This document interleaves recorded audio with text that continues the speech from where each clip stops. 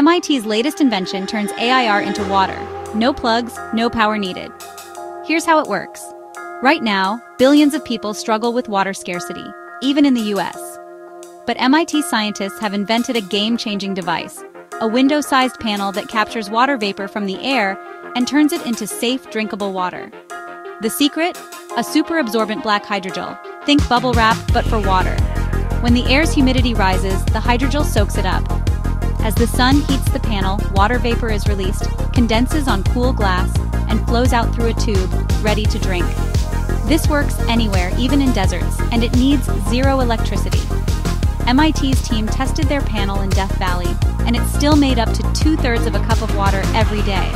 Imagine a future where every home could have panels like this, quietly making clean water from the air, no rivers or wells needed. Tech like this could change the world. Would you try water made from air?